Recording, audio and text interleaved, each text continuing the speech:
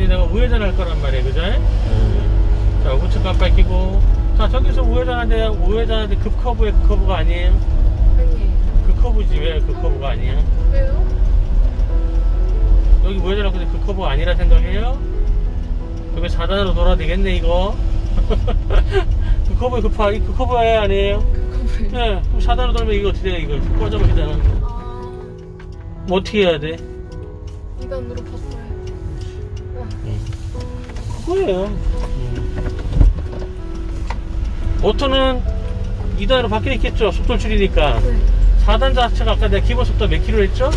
30이라 했잖아. 30으로 못 돌아, 초보들은. 칼에 있어도 돼야 돌지. 자, 150m 전방에서 우회전입니다. 자, 오른쪽 우회전 그 커브에 그 커브 아니에요? 그 커브에 아니에요? 그 커브죠? 네. 줄여서 30 만들어서 2단을 바꿔서 출발해야죠. 위험하니까. 맞아요? 무지가 3단이 아니고 무지가 2단이 아니라. 맞아요? 네.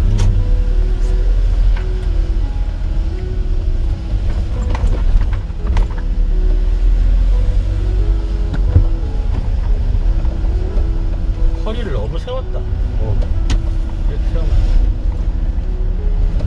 자, 다시 우측 깜빡 끼고 4단이에요, 그죠? 네. 그 커브에 그 커브 아니에요? 그 커브죠, 그죠? 옆에 네. 사람이 뛰올 수도 있죠? 네. 그럼 몇 단 바꾸기 좋아? 2단. 2단. 30 만들고 2단.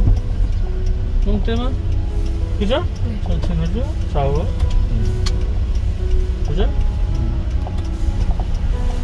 이거 왼쪽도 봐야 되고, 그죠? 이거 2단 방해받으니까 2단, 그죠? 네. 한 돌면 난리 나는 거죠?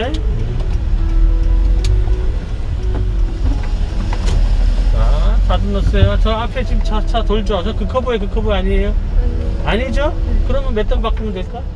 사람도 없고 3단 바꾸면 되겠죠? 30만 들고 3단 넣고 그죠? 맞아요? 이제 이해됐어요? 네. 음.